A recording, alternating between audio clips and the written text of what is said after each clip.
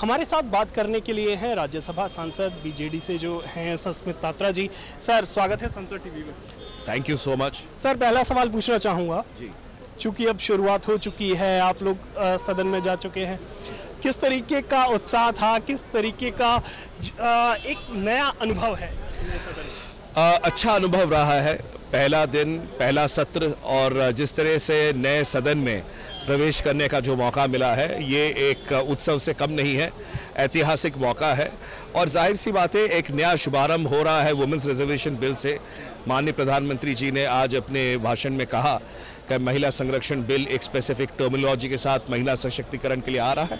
और हमारी आशा है बीजू जनता दल की तरफ़ से हमारे माननीय नेता श्री नवीन पटनायक जी ने हमेशा डिमांड रखा था वुमेंस रिजर्वेशन बिल के लिए। तो मैं कहूँगा कि एक शुभ मुहूर्त है और शुभ मुहूर्त भी है। और ज़ाहिर सी बात है, इस नए सदन में जब वुमेंस रिजर्वेशन बिल आ रहा है, ये बहुत अच्छा बात है और आने के वाले दिनों के लिए बहुत अच्छा रहेगा।